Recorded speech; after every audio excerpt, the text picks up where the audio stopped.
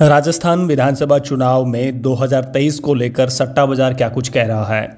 सट्टा बाज़ार की सूत्रों की अगर माने तो जिस प्रकार से लगातार जो है ओपिनियन पोल सर्वे आया, उसी के साथ बताया जा रहा है। भी सट्टा बाज़ार हमारे सूत्र ये बता रहे हैं भी सट्टा बाज़ार भी उसका भी एक सर्वे आ चुका है और उस सर्वे में जो है उसने क्या कुछ बताया। यानी ये सर्वे जा रहा है, लेकिन फ़िलहाल इस सर्वे में जिस प्रकार से आंकड़े दिए गए हैं, आप इस पूरी वीडियो को ध्यान से देखिएगा। इसमें सारी चीज़ें होंगी भी। कौन सी पार्टी को किस विधानसभा सीट से जो है विजयी हो रही है और किस ज़िले से कितनी सीटें जो है वो कौन सी पार्टी लेकर जाएगी? और कांग्रेस और बीजेपी में आखिरी में हम आपको वो टोटल आंकड़ा दिखाएँगे भी आखिर में सरकार किसकी बन रही है। तमाम चीज़ें आप देखने के लिए इस चैनल पे बने रहिएगा और हाँ अगर चैनल पे नए हो तो बेल आइकन का बटन दबा दें और सब्सक्राइब ज़रूर कर दें ताकि आपको हर अपडेट मिलते रहें।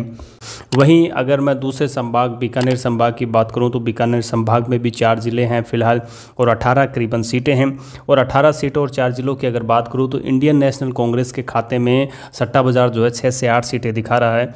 और वहीं अगर बीजेपी की बात करूँ तो 9 से 11 सीटें जो हैं वो सट्टा बाज़ार बीजेपी की दिखा रहा है। यहाँ पर भी बीकानेर संभाग में भी बीजेपी जो है इंडियन नेशनल कांग्रेस को मात देती हुई सट्टा बाज़ार में नज़र आ रही है। वहीं अन्य की बात करूँ तो अन्य भी एक सीट जो है वो दिखा रही है। अब कमेंट बॉक्स में अपनी राय दीजिएगा। आपके अनुसार आप जिस ज़िले से हैं, जिस संभाग से हैं, आपके अनुसार आपके क्षेत्र में कितनी सीटें किस पार्टी को मिल रही है और इस सट्टा बाज़ार से आप कितनी पूर्णतः सहमत हैं या नहीं हैं, क्योंकि ये सूत्रों के हवाले से ये खबरें आई हैं। आपको ये खबर कैसी लगी कमेंट बॉक्स में अपनी राय दीजिएगा। और अगर चैनल पर नए हो तो चैनल को सब्सक्राइब करें, बेल आइकन का बटन दबाएँ। आज के लिए बस इतना ही। जय हिंद, वंदे मातरम।